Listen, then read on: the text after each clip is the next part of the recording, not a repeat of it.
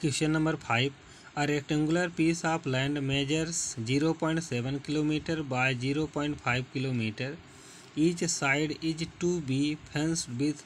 four rows of wire what is the length of the wire needed एक rectangular piece of land है, जिसका major यानी length दिया है 0.7 किलोमीटर वर्थ दिया है 0.5 किलोमीटर जिसका पेरीमीटर फाइंड करेंगे।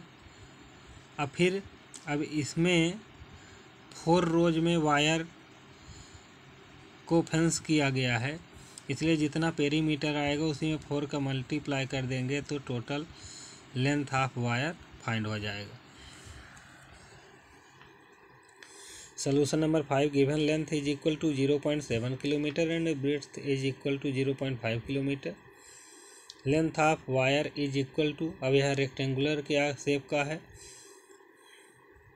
तो perimeter of wire two into length plus breadth into four अब ये देना पेरीमीटर का फार्मूला हो गया two into length plus breadth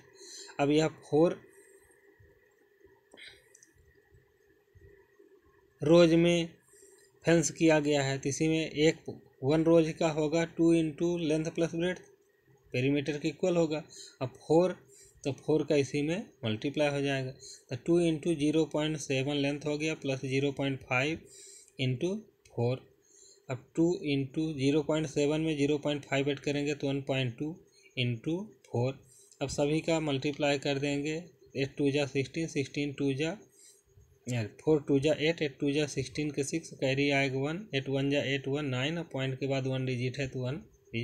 अब यह किलोमीटर में दिया तो यह भी नाइन पॉइंट सिक्स किलोमीटर में आएगा। Hence the length of wire is zero point six kilometre